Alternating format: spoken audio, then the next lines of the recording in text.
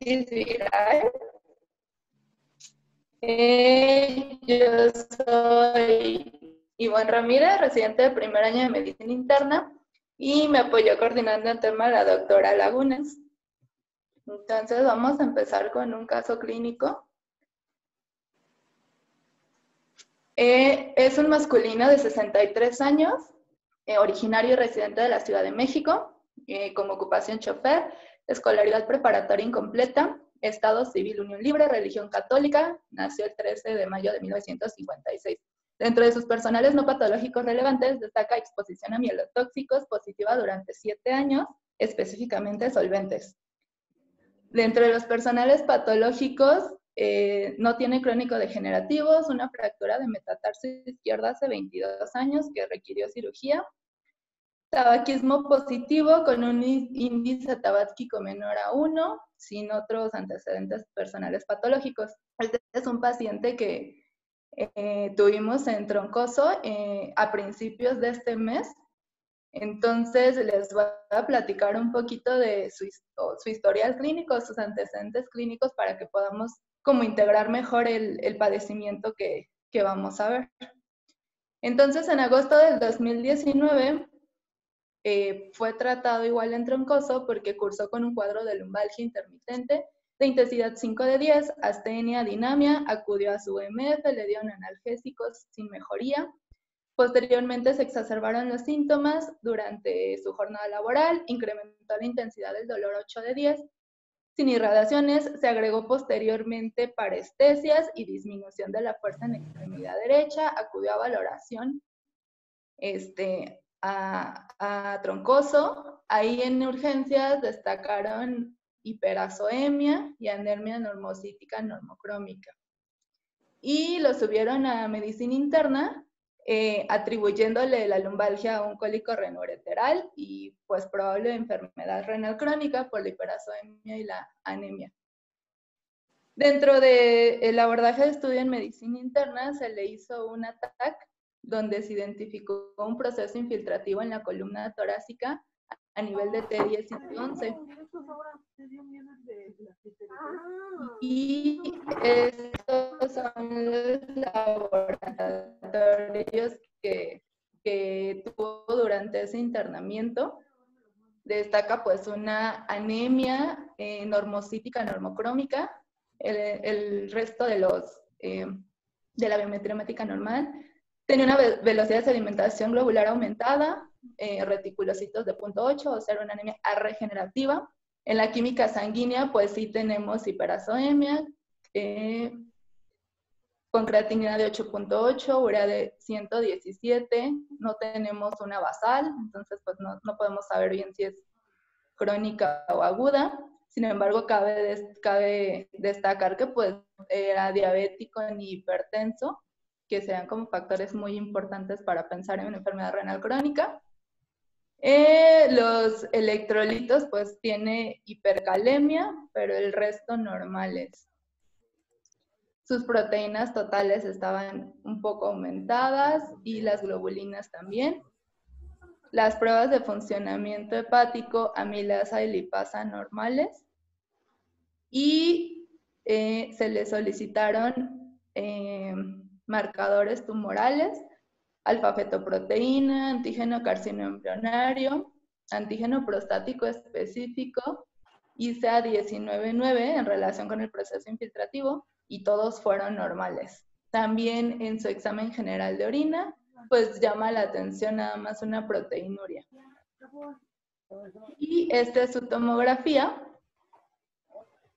donde podemos observar eh, en este corte axial.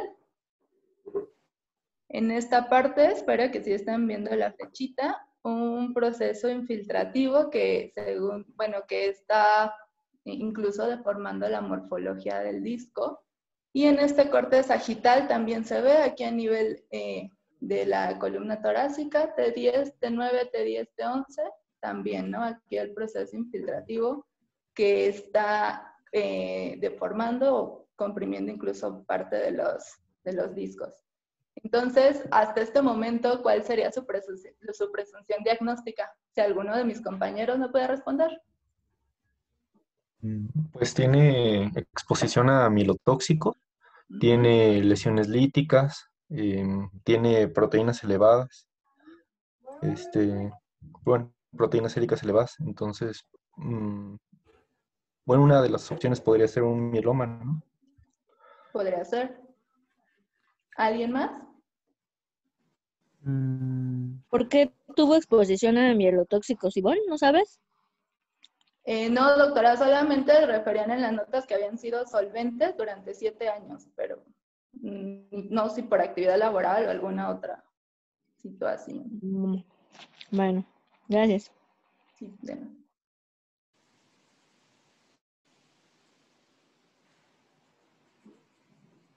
Bueno, pues como dice Jesús, de hecho es una posibilidad importante.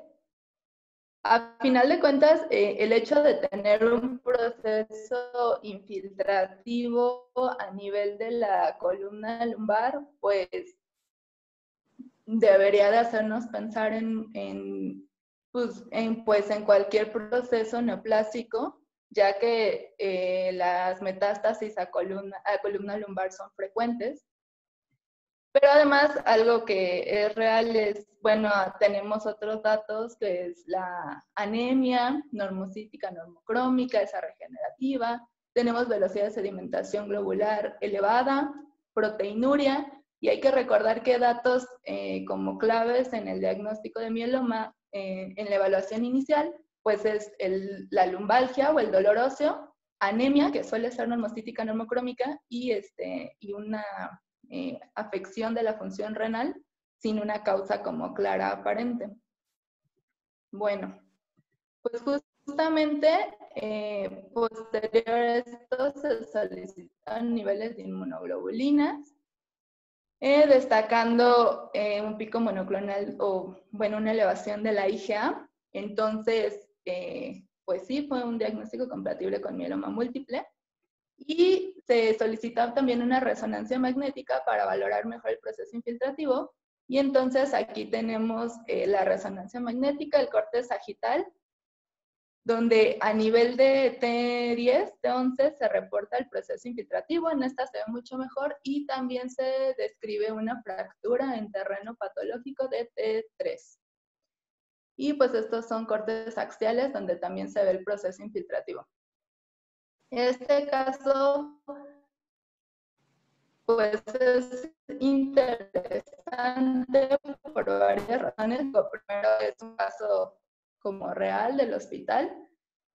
Y aparte, eh, tiene esta característica o este hallazgo del plasmocitoma extramedular, que a final de cuentas es lo que se reporta en resonancia magnética, que era eh, esta infiltración y es, es poco frecuente, realmente menos, menos del 10% de, las, de los casos con mieloma múltiple se presentan como plasmocitomas extramedulares, entonces por eso es un caso interesante.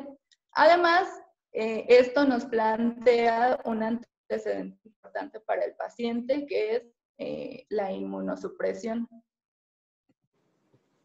Bueno, entonces ya centrándonos en el padecimiento eh, actual, pues aparte de lo ya comentado, ahora tiene diagnóstico de mieloma múltiple IgA en manejo y seguimiento por oncología.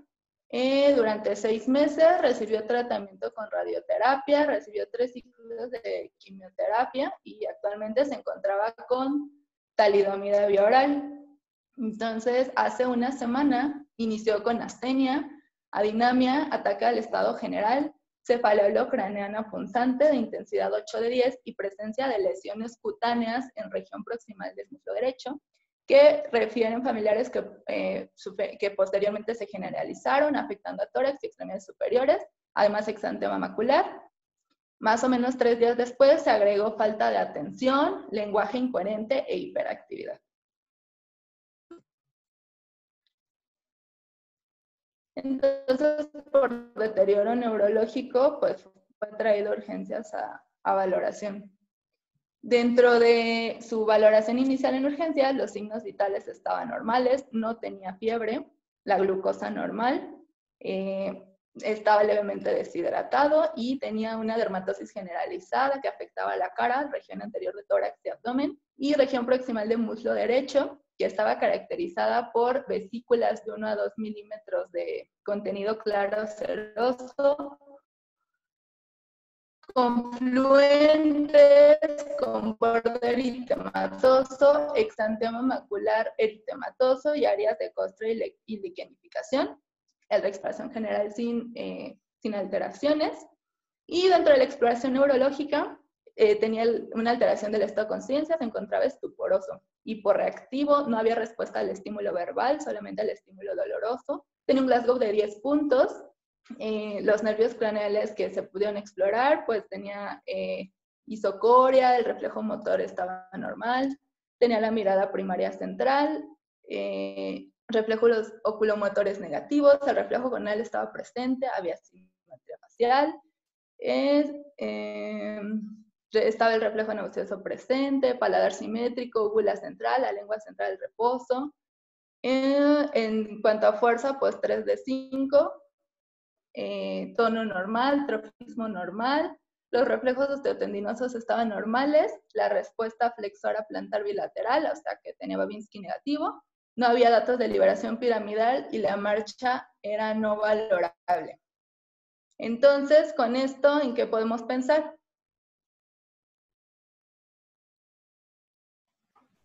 Que pudiese tener infección por algún tipo de herpes, uno, herpes, virus herpes simple, uno o dos. O varicela zoster. Sí, puede ser. También vi que el okay. ¿Por, qué, ¿Por qué virus herpes alveolar? Por las lesiones que empieza a presentar en lo que viene siendo este cara, eh, la epidemiología que principalmente, bueno, hablando ya en el contexto de sífilis, de sífilis, perdón, de este eh, encefalitis, es una de las principales causas. Exacto, ¿no? O sea, justo herpes simple es como la principal causa de, encefalitis y también por ahí mencionaron varicela zoster que eh, es también relacionado o se podría pensar por dos cosas, por la inmunosupresión del paciente y pues por las características de las lesiones eh, cutáneas, ¿no? Algo que también es importante eh, es hacer en un paciente con estas características la exploración neurológica detallada, porque a final de cuentas pues viene por una afección neurológica y, esto nos va a dar pauta pues para identificar si hay una lesión focal y eh, entre otras cosas qué tan seguro sería hacer una punción lumbar o algún otro procedimiento. Entonces, estas son las eh, características de las lesiones. Previamente, con el consentimiento de los familiares, le tomamos fotitos. Ya aquí no se, eh, no había realmente tantas lesiones o prácticamente ninguna lesión eh, vesicular, bueno, como vesículas, pero pues es importante recordar que a final de cuentas, normalmente cuando nosotros valoramos este tipo de pacientes es difícil que encontremos lesiones en, en la fase de vesículas, ¿no? Ya las encontramos cuando eh, ya presentan más costras o escoriaciones. Y pues nada más un poco hablando sobre eh, eh, herpes zóster generalizado. Pues lo más frecuente es que se presente el herpes zóster tal en un solo dermatoma, que si presenta datos de generalización sea eh, unilateral. Sin embargo, en pacientes que inmunodeprimidos, pues es común que tenga afección bilateral y pues a más dermatomas. Viendo las lesiones un poquito más de cerca, eh, acá se pueden ver realmente como confluencia de, las lesiones, que es una característica de, la, del herpes zóster. Y también se describen como lesiones necróticas o ulcerativas que más o menos se ven acá. Entonces, bueno, dentro de los laboratorios que le que se tomaron, se encontró pancitopenia, leucocitos de 790, anemia de 9.3 de hemoglobina, plaquetas de 16.000 eh, y pues seguía con datos de falla renal, sin embargo pues ya había remitido ¿no? como la lesión renal de, del pasado. Entonces, como ya dijimos, el diagnóstico clínico probable pues sería una encefalitis por, eh, puede ser herpes simple, pero en este caso más daba datos como de eh, herpes zóster generalizado por las lesiones. De todos modos, herpes simple siempre es un, agente biológico que debemos de descartar en cualquier encefalitis. Entonces, ¿cuál sería el siguiente paso en el abordaje diagnóstico? Misa, o alguien que quiera responder.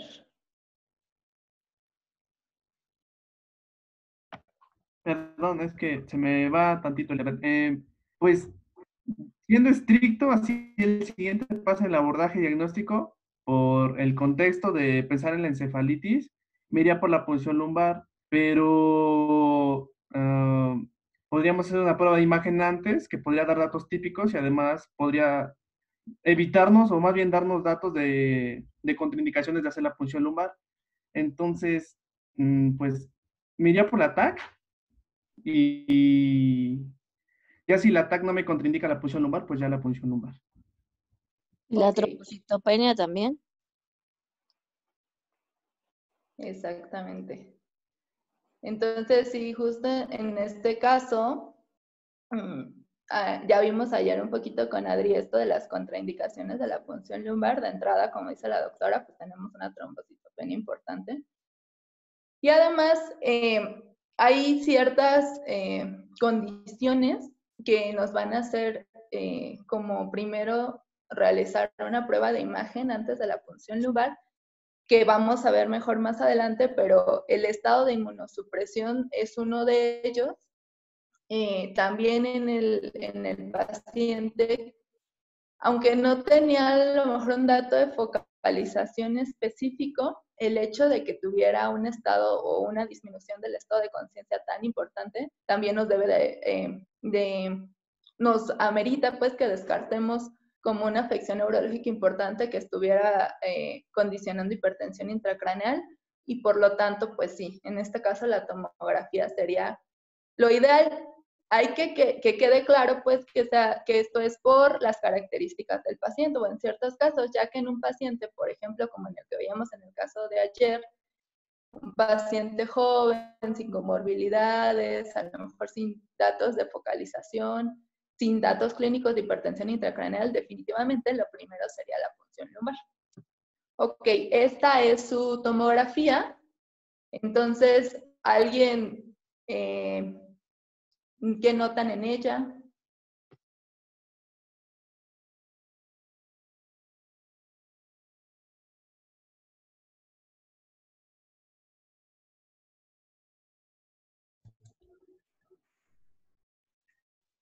¿Se acuerdan de las tomografías que vimos ayer con la contraindicar una función lumbar. ¿Notan algo así en esta? Se ve pérdida de las cisuras, ¿no?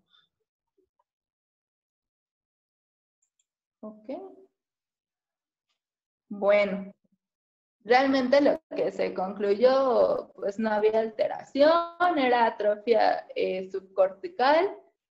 Entonces, eh, pues no tenemos acá como una lesión focal y no hay desplazamiento de la línea media.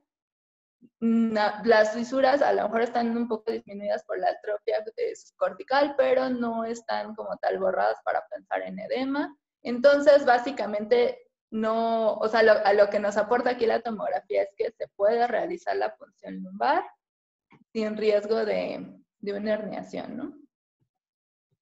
Entonces se le transfundieron a féresis y se hizo la punción lumbar. Que, eh, ok, entonces tenemos que el aspecto del líquido cefalorraquídeo transparente, había una hiperproteinorraquia de 116, la glucosa estaba ligeramente disminuida, la plasmática era 110. Los leucocitos estaban aumentados, eran de 138 con predominio de linfocitos y en la tinción gram no se observaron bacterias. Entonces, este aspecto del líquido cefalorraquídeo o estas características que nos dicen. Una probable etiología viral. Ok, pues sí. ¿Y qué estudio confirmaría el diagnóstico en que estamos pensando? ¿Cuál sería como el gold estándar? La PCR, ¿no? De líquido cefalorraquídeo. Así es, la PCR de líquido cefalorraquídeo.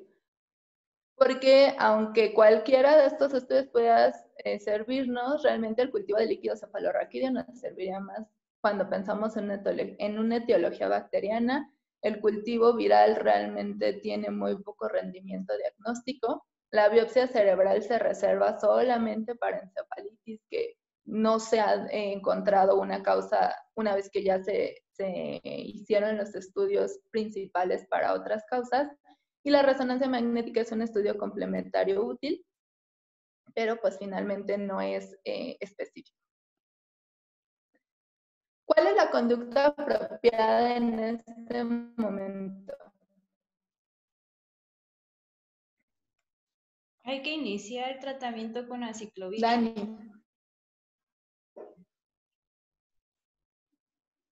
¿Ok?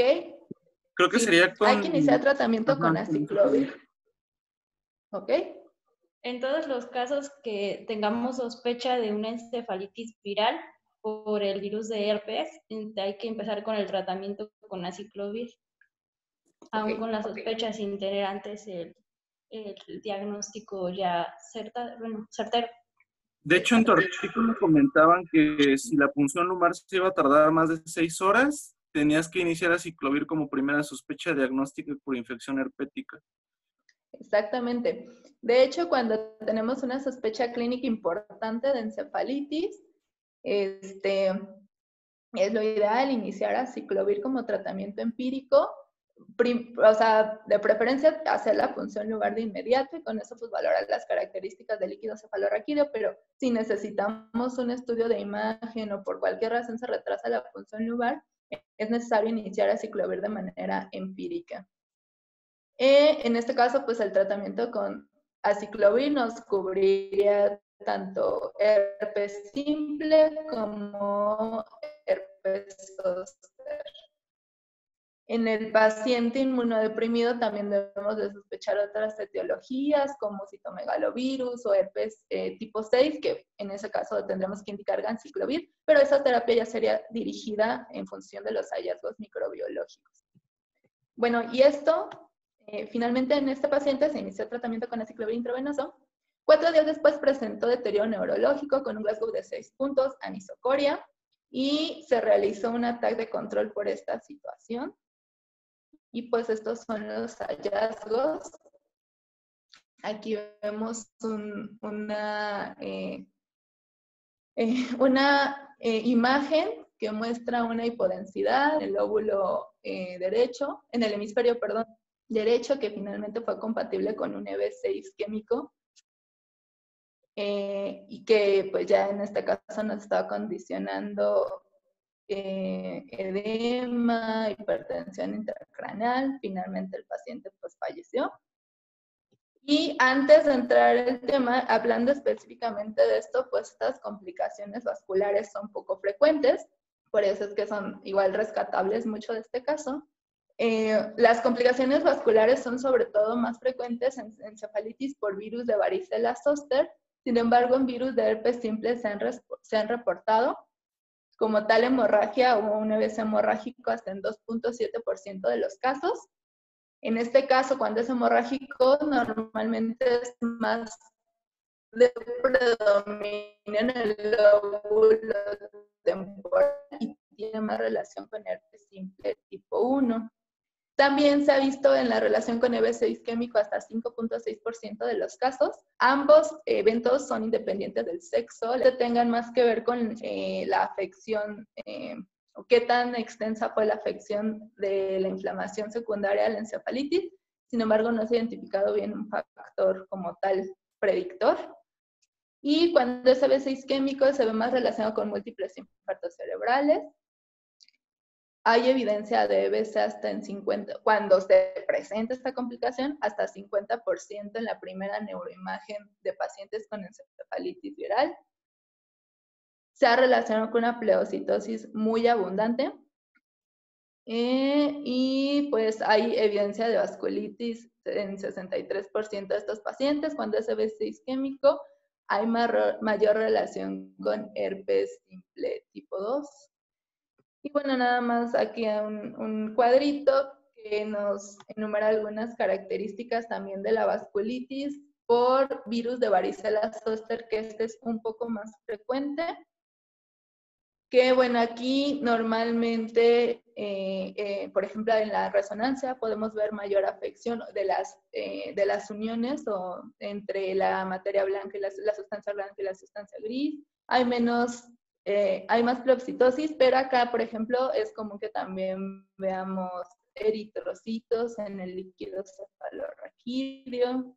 Acá es más frecuente detectar, bueno, esto en general es más frecuente detectar eh, varicela zoster en líquido cefalorraquídeo por pruebas eh, serológicas o detección de inmunoglobulinas, pues, más que por em, PCR.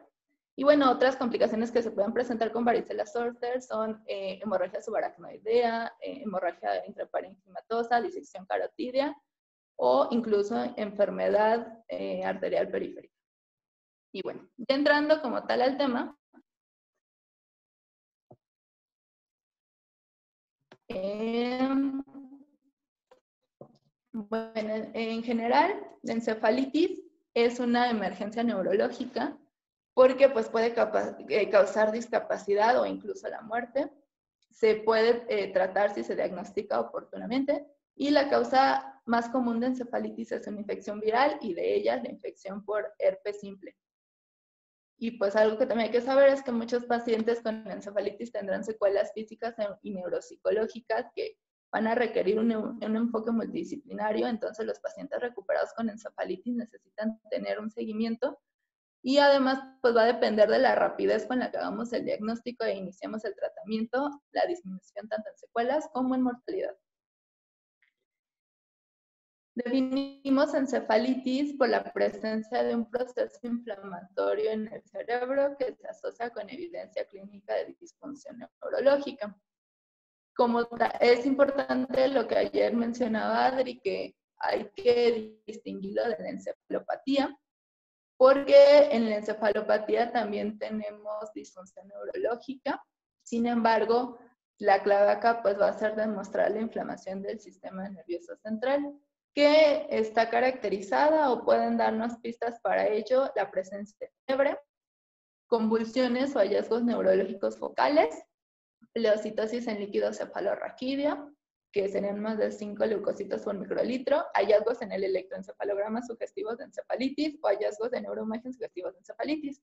Ok, epidemiológicamente se habla de 7 casos eh, por 100.000 personas al año, es más frecuente en los extremos de la vida, lactantes y mayores de 65 años.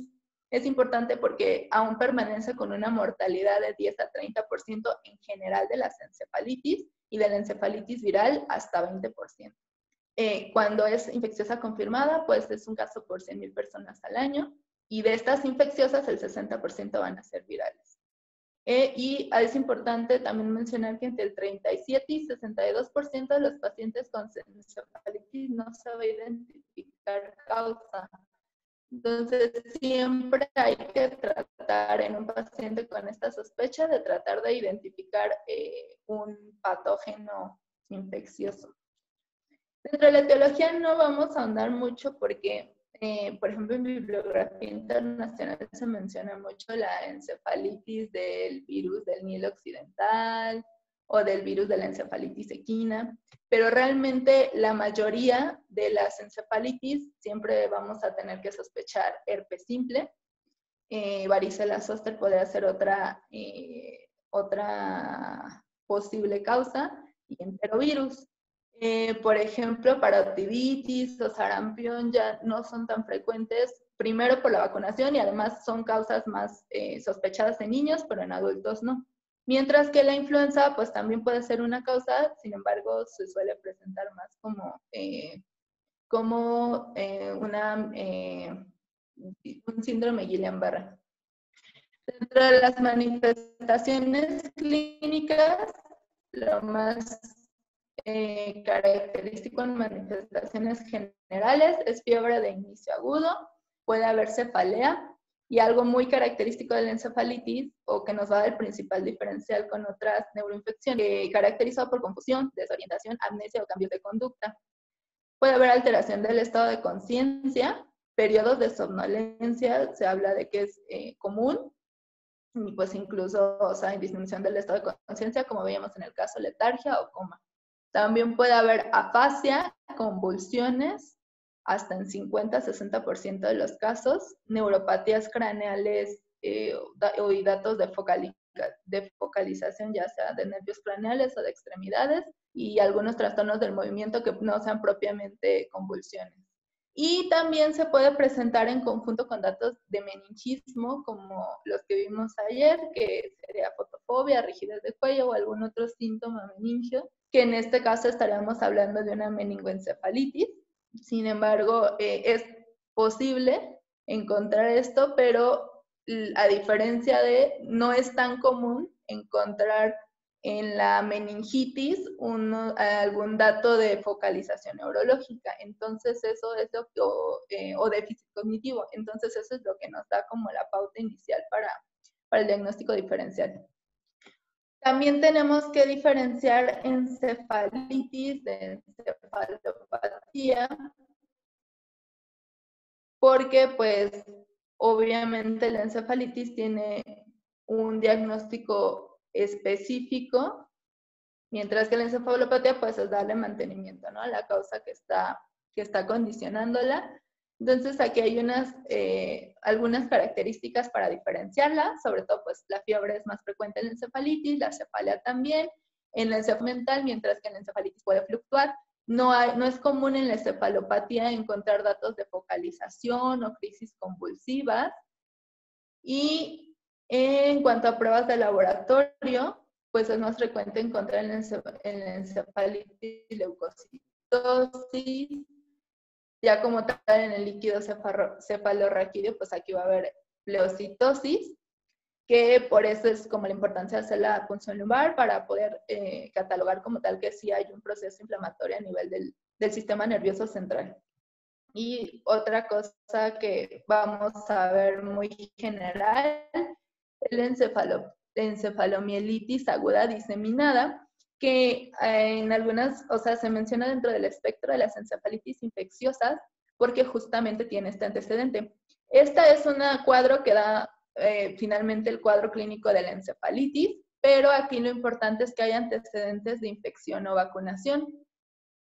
Sea, eh, o sea, fisiopatología está condicionada porque es una respuesta inmune contra un reto antigénico previo, que sería la vacunación o la infección, Normalmente cuando es post-infecciosa, eh, se habla que es más o menos una semana posterior a la infección, varía, depende de la gente. Y estos son los virus principales. Algo que hay que ver es que a final de cuentas son virus que eh, son eh, causas de encefalitis. Entonces, es posible que haya habido un cuadro anterior de encefalitis por herpes virus o por alguno de estos virus y posterior a la recuperación clínica, el tratamiento, se vuelve a presentar con un cuadro de encefalitis y entonces deberíamos de pensar más bien en una encefalomielitis aguda diseminada. También frecuente en, eh, eh, de una a 14 días después de alguna vacuna.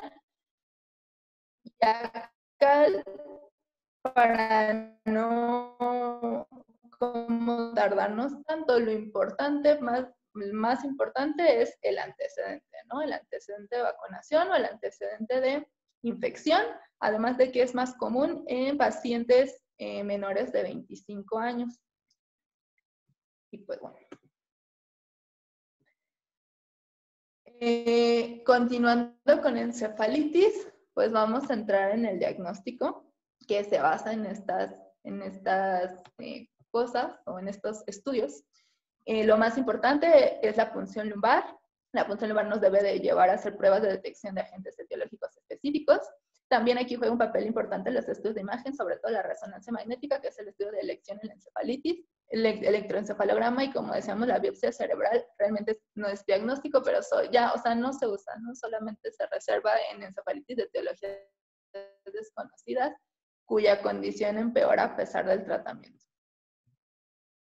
Entonces, ayer ya los veíamos, estos son los criterios diagnósticos para encefalitis. El importante o el que debe de estar absolutamente es el eh, estado mental alterado o alteración del nivel de conciencia, cambios de personalidad, más de 24 horas y sin una causa alterna identificada. Y debe haber dos de estos criterios menores eh, para que sea posible o tres o más probable. ¿Qué sería la fiebre? El nuevo aparición de convulsiones que no se atribuyen a otra causa, aparición de hallazgos neurológicos focales, un líquido cefalorraquídeo con eh, una celularidad mayor a 5 células por microlitro o por milímetro cúbico, cambios en la neuroimagen eh, compatibles con encefalitis o cambios en el electroencefalograma compatibles con encefalitis. Estás hablando de la punción lumbar. Eh, nos permite establecer la, la, inflamación del sistema nervioso central. En la encefalitis viral, pues va a haber pleocitosis, pero acá la diferencia básica es que hay un predominio de linfocitos. Sin embargo, hay que saber que en fases tempranas de la encefalitis podemos encontrar un líquido cefalorraquídeo normal, es decir, sin eh, pleocitosis o incluso con pleocitosis pero expensas de neutrofilia. Entonces, pues para tenerlo en cuenta, que esto en fases tempranas se puede presentar y el líquido, el líquido normal, se habla sobre todo que puede presentarse en pacientes eh, con estados de inmunosupresión. Nada más como puntualizando un poquito lo que veíamos ayer con la doctora Avi, que nos decía que muchas veces por el aspecto macroscópico del líquido cefalorraquídeo podemos distinguir, pues sí es, es evidente, ¿no? En el, en el líquido de arriba se ve turbio, que es más como de una meningitis o una etiología bacteriana, mientras que el líquido cefalorraquídeo de una encefalitis viral, pues se ve como el de abajo, ¿no? Claro, agua de roca. Y pues, además de esta primera análisis, ah, bueno, suele haber aumento de proteínas, aunque puede ser no tan importante. Y la glucosa puede estar ligeramente elevada, pero no es característico en la encefalitis viral, ¿no? Cuando tenemos una glucosa, perdón, disminuida. Cuando tenemos una glucosa francamente disminuida, este, nos orienta más una etiología bacteriana. A esto, pues, dependiendo de la gente que, que sospechemos, se tiene que enviar para pruebas de serología, detección de IgM, que no es útil para virus de herpes simple, pero sí para otras etiologías. Ideal también se debe mandar a PCR y pues, los cultivos virales, como decíamos, tienen un valor limitado.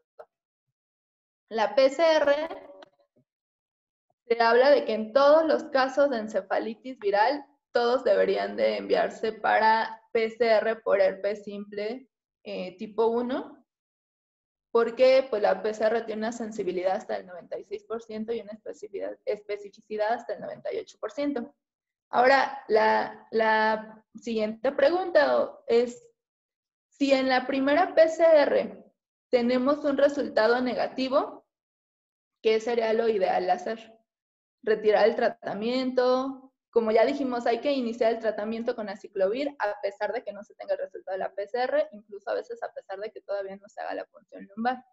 Pero si, si resulta negativa, ¿cuál sería la conducta apropiada?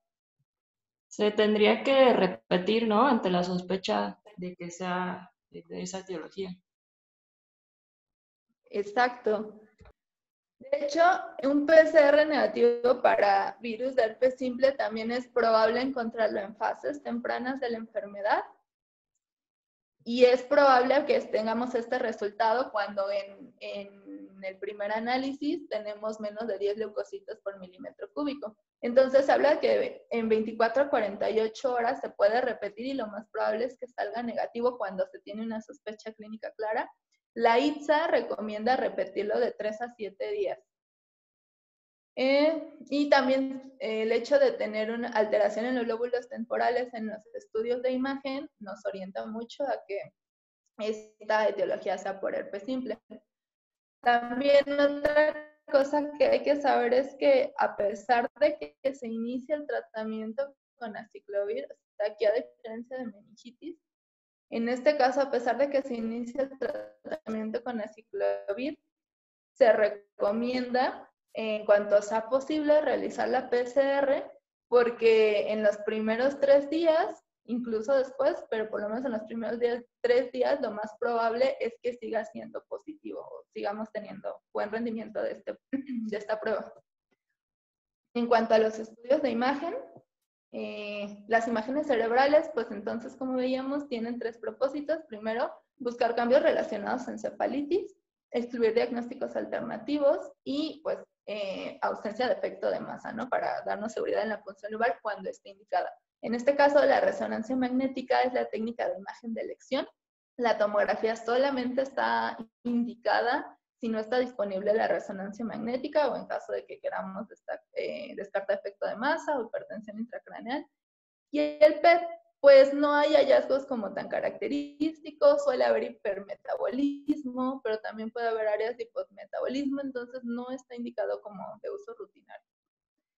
Entonces, hablando propiamente de la eh, resonancia magnética, que es nuestro estudio de elección,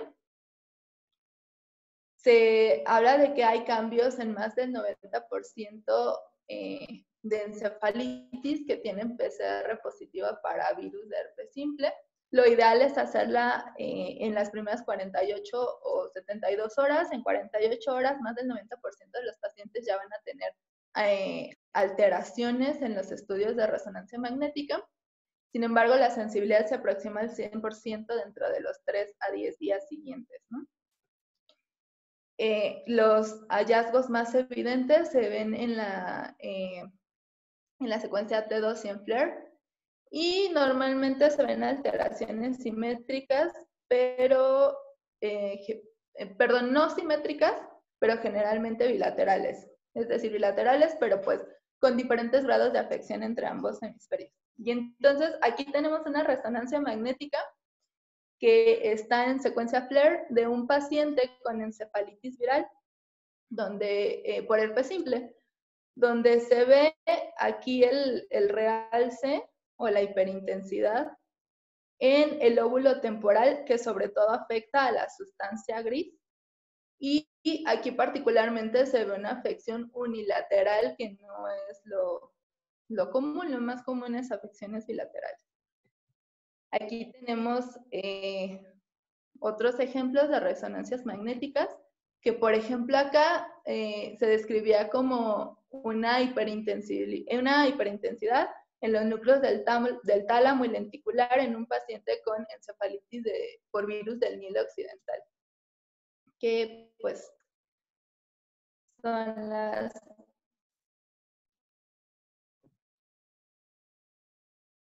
los hallazgos que se ven acá.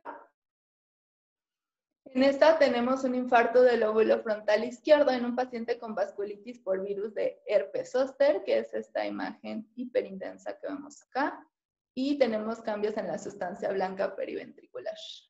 En la imagen C, que esta es una encefalitis por virus de herpes simple, vemos una hiperintensidad en el óvulo temporal derecho, que igual es esta, esta hiperintensidad que vemos acá. Y este es un paciente con encefalitis presuntamente debida a un virus de Epstein-Barr que presentó afección en los, ambos hemisferios cerebelosos. Entonces, justo por resonancia magnética, lo que, lo que vemos aquí es que también hay hallazgos característicos dependiendo del agente infeccioso. Lo común, hablando de virus de herpes simple, que es el más frecuente, pues es afección en los lóbulos temporales, normalmente bilaterales, Sin embargo, pues siempre recordar que es un estudio complementario porque no es específica y encefalitis autoinmunes también pueden darnos hallazgos similares. Acá igual es una eh, resonancia magnética en secuencia T2 que nos va a mostrar cambios bilaterales en lóbulo temporal, secundario a una encefalitis por virus de herpes simple. Y esta es una resonancia magnética en FLAIR que nos muestra cambios secundarios a un enterovirus. Bueno, encefalitis por enterovirus. Ahora el, electroencefalograma, pues también en la literatura, la ITSA, recomiendan que se debería hacer en todos los pacientes con encefalitis viral. La utilidad del electroencefalograma, pues es que nos ayuda o nos podría mostrar cambios durante las primeras etapas de encefalitis, pero además nos ayuda para identificar a pacientes con actividad convulsiva en las cuales a lo mejor no es tan valorable o no tienen como tal la actividad convulsiva motora, solamente es eléctrica, en pacientes que están con deterioro del estado de conciencia, más del 80% de encefalitis por virus de herpes simple eh, puede presentar eh, cambios de 2 a 14 días después del inicio de los síntomas. Y lo clásico, justo como hablábamos de que la afección es en el óvulo temporal, es eh, mostrar descargas epileptiformes en el foco temporal, que esto nos apoyaría para el diagnóstico de una encefalitis viral. Todos estos estudios, a final de cuentas, nos apoyan o, nos orientan más para lograr llegar al diagnóstico de encefalitis en casos donde no está, no podemos demostrar mediante la PCR, pero además, pues para valorar el grado de afección neurológica que está habiendo y las posibles secuelas en el paciente. Entonces, resumiendo, esto es como el, el algoritmo diagnóstico que tenemos hacer cuando se presenta un paciente con datos clínicos de encefalitis, pues tenemos que valorar si tiene una indicación para tomografía o primero tenemos que hacer punción lumbar, que estas son las contraindicaciones para hacer de inmediato la punción lumbar. Se habla de que hay signos neurológicos focales, presencia de papiledema, este, convulsiones continuas o descontroladas, una disminución del Glasgow menor a 12. Recordar que la cefalea importante y eh, el vómito en proyectil pues también son datos de hipertensión intracraneal. Y eh, en otra bibliografía también se menciona pacientes mayores de 60 años, inmunodeprimidos, con antecedentes de una patología conocida del sistema nervioso central o eh, con déficits neurológicos. Y bueno, si eh, no tenemos alguna de estas contraindicaciones, hay que hacer la punción lumbar eh, de inmediato, ¿no? De urgencia. Si la punción lumbar se retrasa, aquí se habla de seis horas, pero por ejemplo la ITSA habla de cuatro horas. Entonces, si la punción lumbar se, va a retrasar, hay que, hay que iniciar a, a ciclovir. Eh, Ok, entonces hay que iniciar en ciclovir, hacer la punción lumbar cuando sea posible. Si todavía no se puede hacer la, la neuroimagen, pues hay que hacer, bueno, independiente se puede hacer o no, hay que hacer una prueba para PCR para virus de simple. Si es positiva, hay que iniciar tratamiento con aciclovir, que va a durar 14 días. Bueno, más adelante vamos a ver mejor el tratamiento. Si no es eh, positiva la PCR, hay que buscar eh, diagnósticos microbiológicos alternativos, si se encuentra alguno, una infección viral, de, perdón, bacteriana o alguna otra causa viral.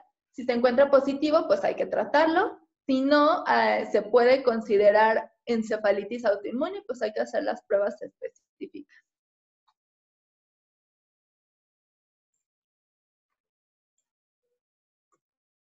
Ok. Entonces, eh, ya centrándonos en el tratamiento, hay que iniciar el eh, tratamiento con aciclovir en todos los pacientes con sospecha de encefalitis.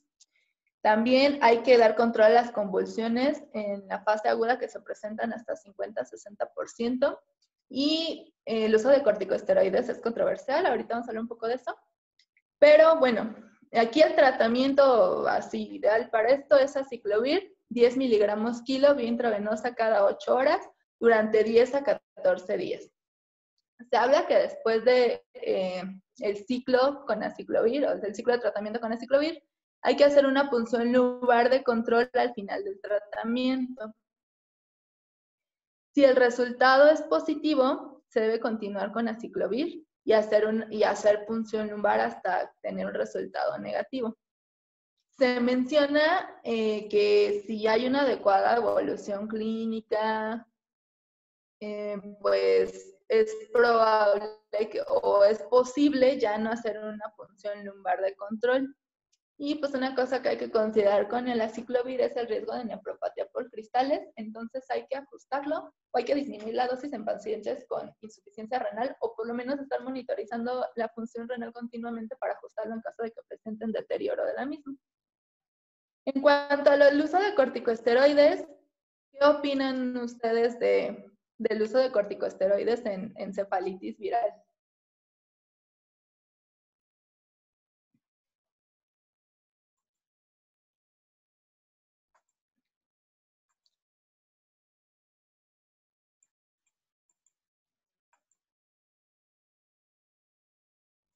No sé, Sarita o, Olivia, ¿qué opinan ustedes?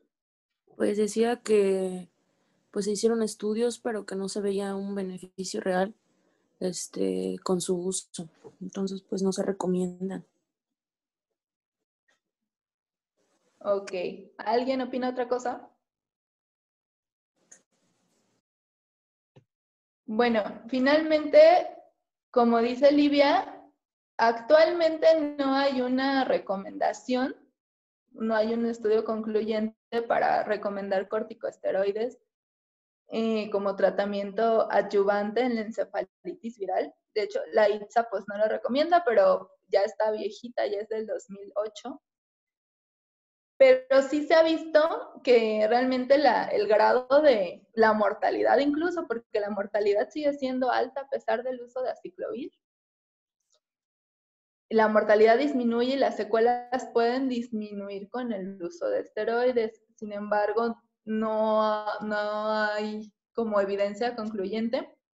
Se recomienda el uso de esteroides, por ejemplo, más en pacientes con eh, encefalitis por varicela zoster, en encefalitis por virus de Epstein-Barr, pero no hay igual, así una recomendación específica no hay.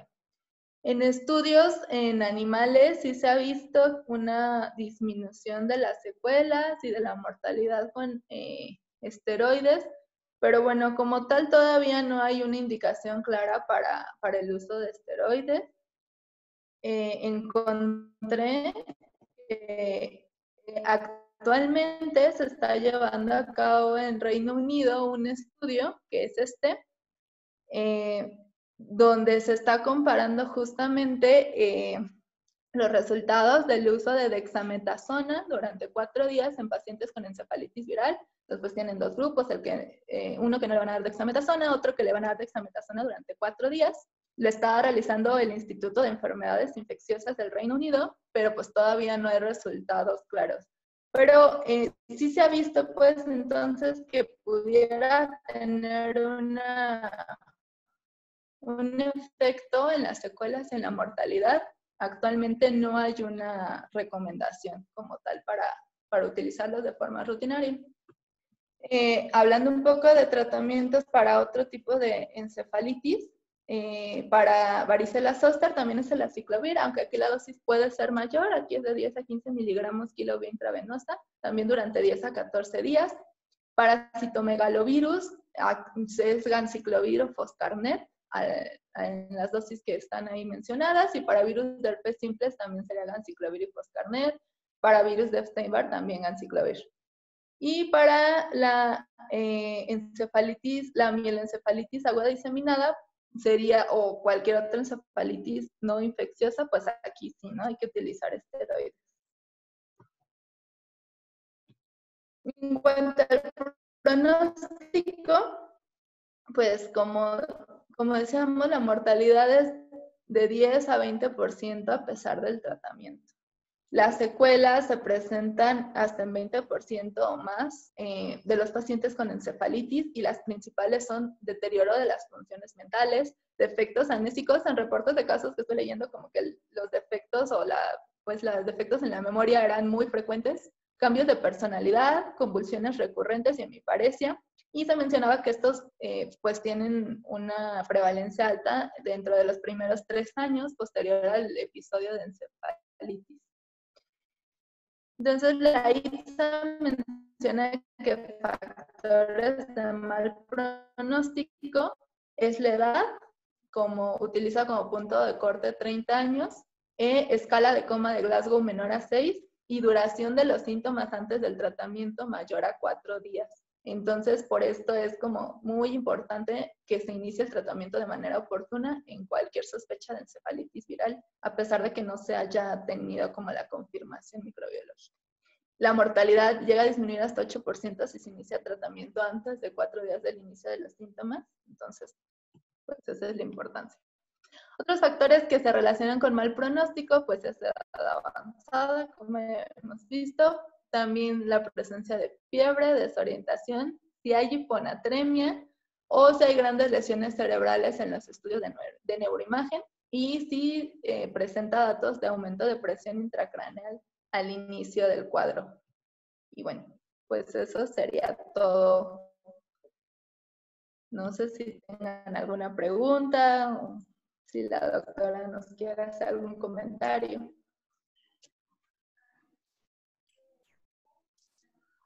¿Dudas? ¿Hay muchachos?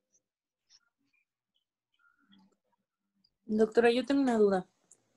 En caso de que, bueno, como vemos hay eh, patologías como el VIH, en las cuales eh, es más probable que haya otros agentes diferentes al virus del herpes simple para, para pues, bueno, que estén afectando al paciente. Entonces, en estos casos, siempre, siempre vamos a iniciar con aciclovir.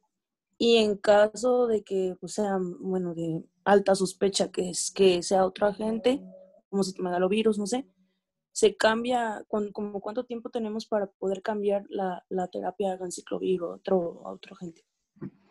Mm, pues más que iniciar, o sea, esto, este, este contexto es, es muy difícil en realidad.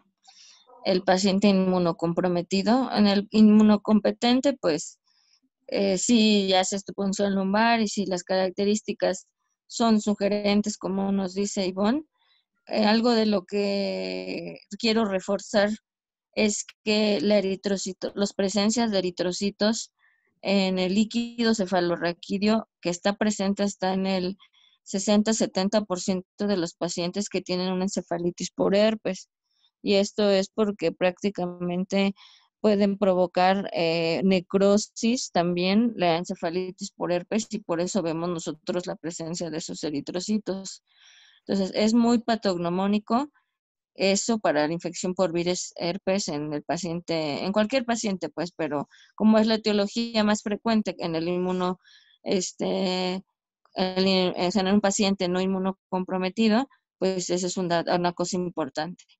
En el VIH, prácticamente va a ser muy importante que yo tenga el, el conteo de los CD4. O sea, no voy a poder, eh, o por lo menos eh, yo no lo hago hasta que yo conozco el contexto del paciente, sé y averiguo cuándo, cuánto, perdón, este tiene de CD4, entonces ya empiezo mi abordaje en la en, el tratamiento. Si son pacientes que tienen un tratamiento eh, muy, que están bien, este, más de 200 CD4, pues voy a pensar ya en etiologías las más frecuentes, ¿no?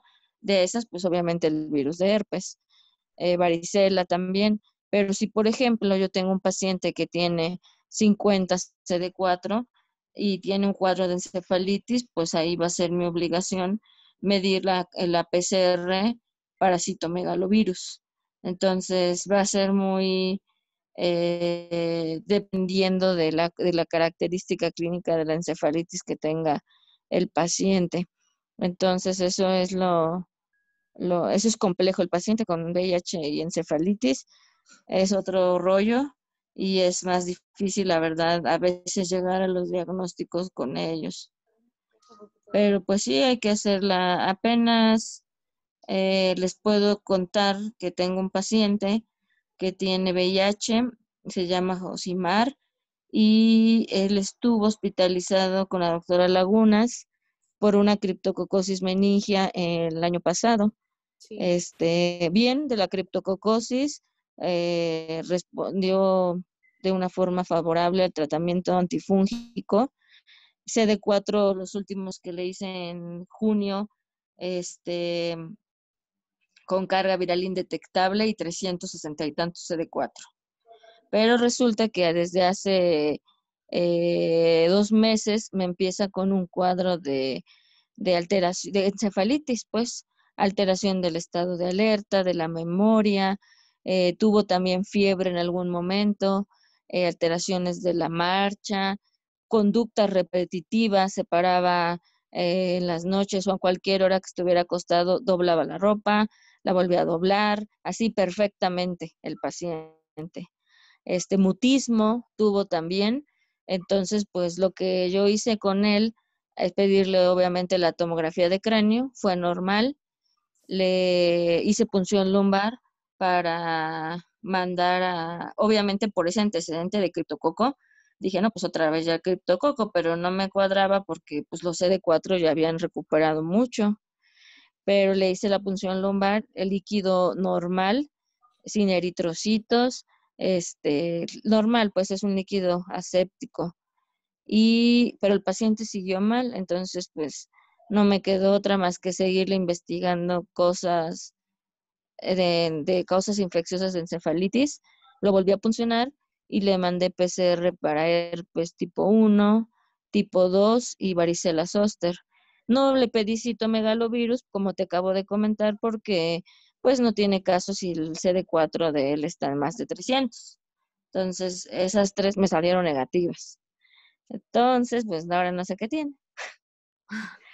Eh, e, en algún momento él se hizo así como por época COVID, una serología, una PCR eh, para ¿cómo se llama? Para COVID, SARS-CoV-2 y fue positiva.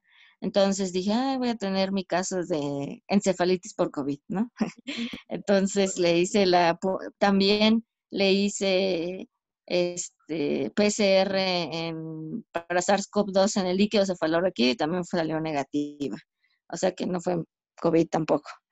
Entonces, es muy complejo, ahorita no sé qué tiene, el paciente ha mejorado, o sea, ya habla, ya no tiene mutismo, ya, este, ya me reconoce porque los primeros días que lo vi ni me reconocía, ni se acuerda que lo puncioné.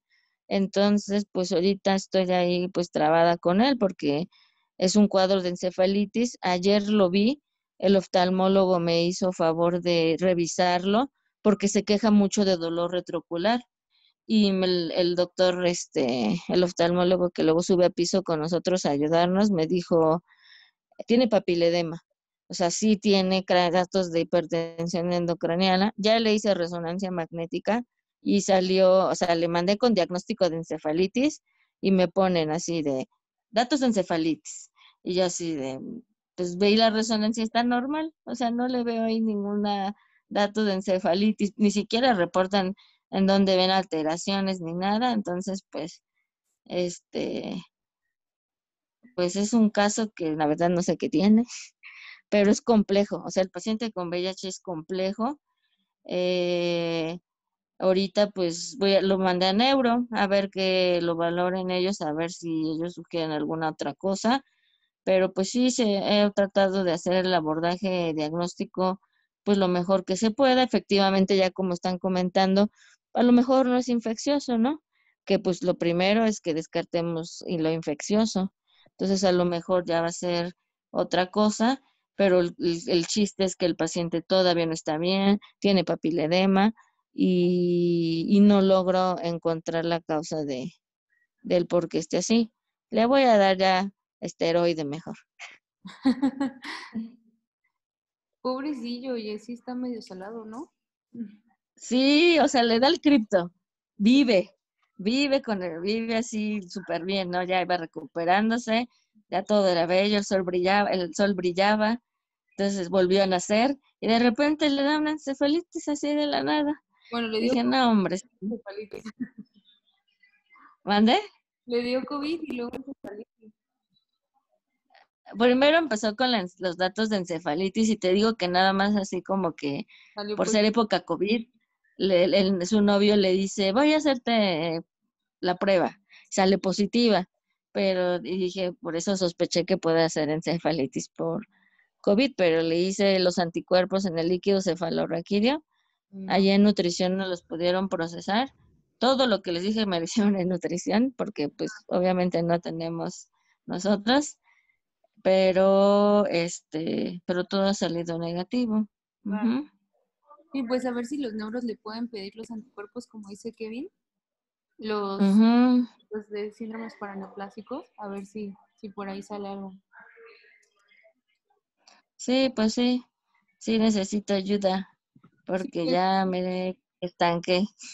Como dices, en- cuando uno estudia este tema se ve sencillo, pero ya en la vida real se pone, y más en los VIH, ¿no? Se pone, Sí, pues pero sí todo lo demás que comentó Ivonne, pues es lo que ahorita tienen que conocer, saber, las etiologías más importantes, la afectación más común en el temporal, electroencefalograma siempre va a estar con alteraciones por focos epileptiformes en el temporal.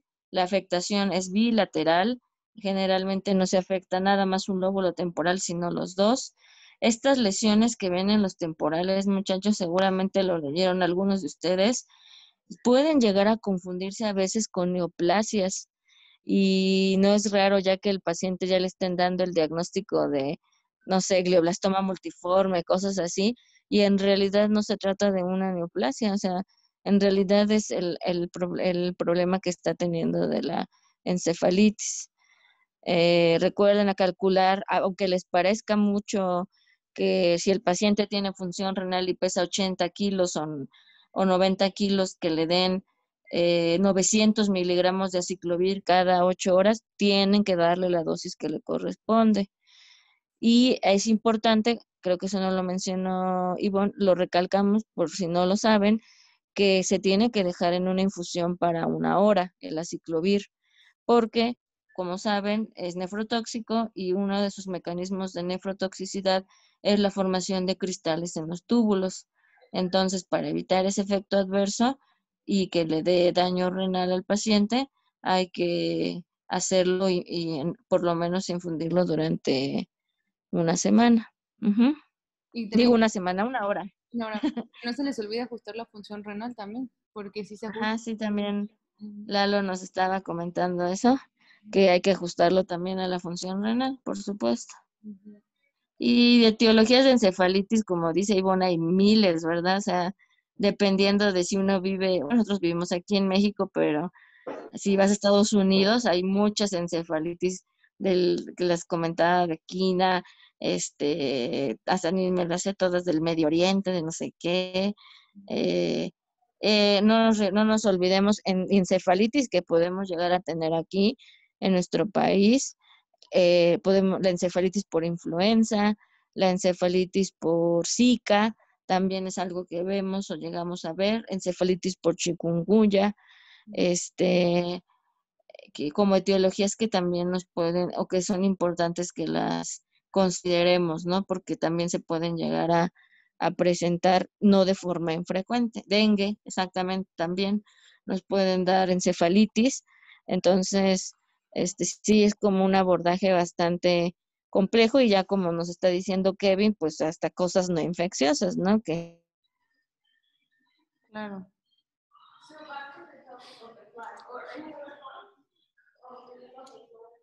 Ahí ya ni veo que está escribiendo Lalo.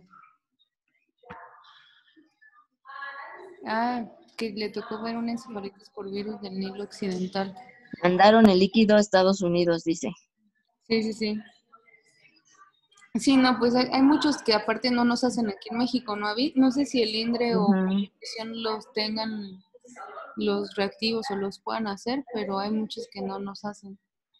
pues tienen los más frecuentes, pero cuando tienes a llegas a tener una sospecha de alguno así en particular por algún antecedente epidemiológico, se los mandan. O sea, la CDC está pues en contacto muchas veces con todos estos laboratorios centrales y este y han tenido, o sea, han llegado a mandar, he conocido pues que me han platicado que cuando se sospecha de eso o la mandan como dice por acá Lalo, se manda a Estados Unidos o ellos mismos te pueden mandar también reactivos para que tú los puedas realizar en los pacientes.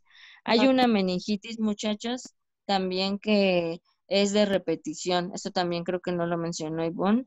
Eh, estas meningitis se conocen como meningitis de Molaret o Mollaret, como no sé cómo se pronuncia bien. Eh, si lo leyeron ustedes, son casos de generalmente de infecciones por virus de herpes. Ajá. O sea que ya tuvieron una por herpes y pueden tener siguiendo o tener recidivas de esta enfermedad. Entonces eso también no descarten de la mente que si que aunque ya le haya dado una encefalitis a un paciente por herpes, ya no vuelva a presentarla. Es común que puedan volver eh, a presentar, sobre todo con qué virus de herpes, el 1 o el 2. El 2, exacto, mis. Muy bien. Con el 2 es más frecuente. ¿Sale?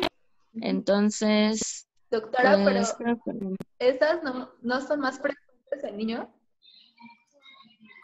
Sí, sí, también se ven más frecuentes en niños, pero pero se han documentado, no le he visto, yo no he visto casos así que yo comente con ustedes, pero he leído pues en la literatura que también en el caso de los adultos este pueden llegar a presentarse, pero más común, como comentas tú, en los niños, así es. La fiebre amarilla también puede dar encefalitis, bueno, el, eh, la malaria, ah, podemos ahí decir miles de causas, ¿verdad? Claro. Pues bien, bueno. estuvo bastante bien para este tema. Creo que les puede servir mucho a todos este repaso. Y este y sobre todo porque es frecuente que en el poema les pongan meningoencefalitis, o sea, ayer vimos meningitis, hoy encefalitis, y a veces ahí medio los se los combinan para que lo tomen en cuenta, ¿no? Muy bien. Bueno, pues acabamos casi la semana de clases. Y ya nada más falta mañana. Es buena hora. Ivonne se ajustó. Sí, me apuré. Sí. No, es ah, que no, había visto, no había visto el chat, pero el paciente del mieloma estuvo en la 219, pero cuando subió por lo de la encefalitis se murió muy rápido. Y ya nada más complicación, lo del EB6 químico fue del nuevo paciente que estuvo en la 219, al cual no le quisieron hacer la resonancia porque no tenía prueba para COVID o algo así, que terminaron subiendo a COVID. Y también se murió, creo. se murió por, por, lo del EBC. Porque, pero él sí tuvo COVID. Saúl Guadarrama fue el último paciente que estuvo en la 219. Saúl Guadarrama es el del EBC. Ajá. pero los dos también en la 219. Ah, ya. Y le dio COVID a Saúl, a don Saúl, y se murió de COVID. Pero bueno. Pues ya que. ¿No está Laurita por ahí, no? Sí, sí, está Sí, ah, aquí estoy. Eh, yo me este, que había un paciente este. que estaba en la 212 que estaba con el mismo cuadro.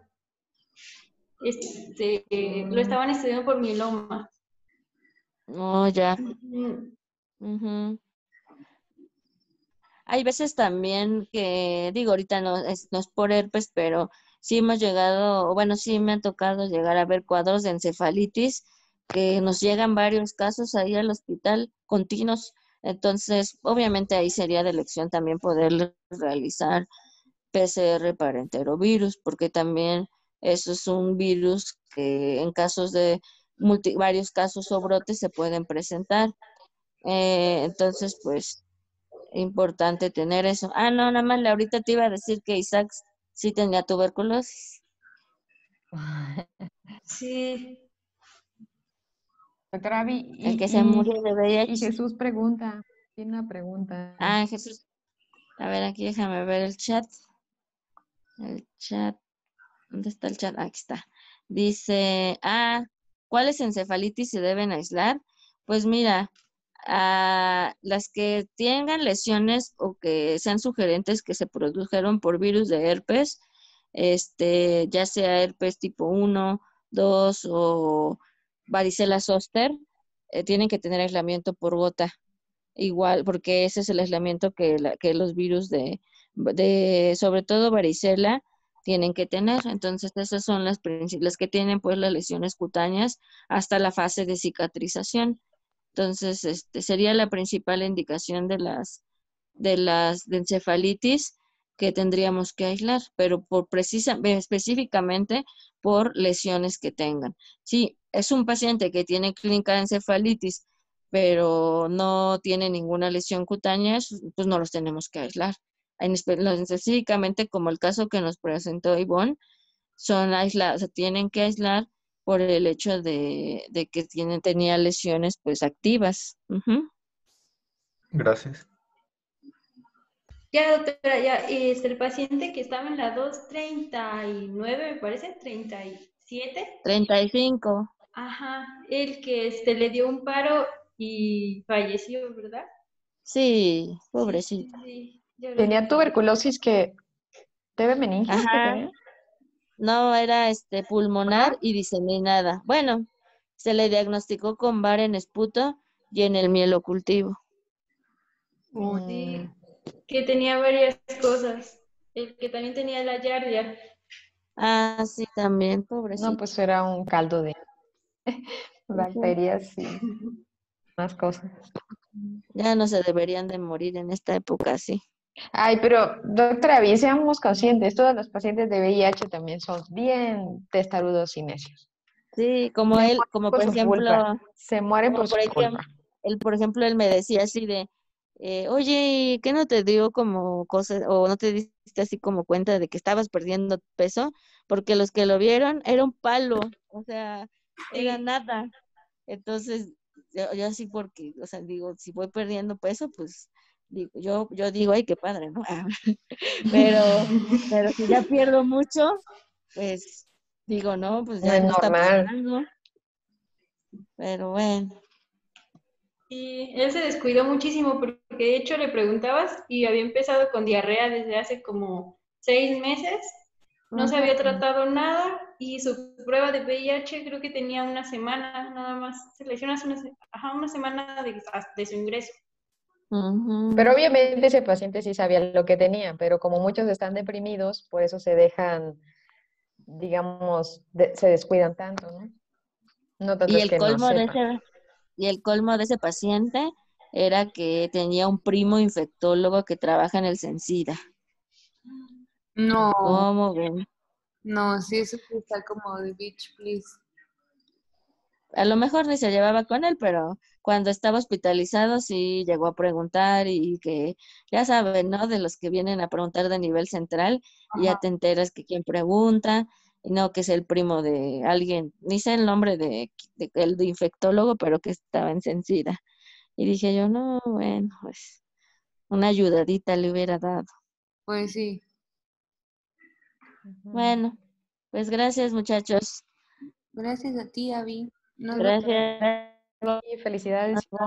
Nos vemos mañana. Nos vemos mañana. Bye. Bye.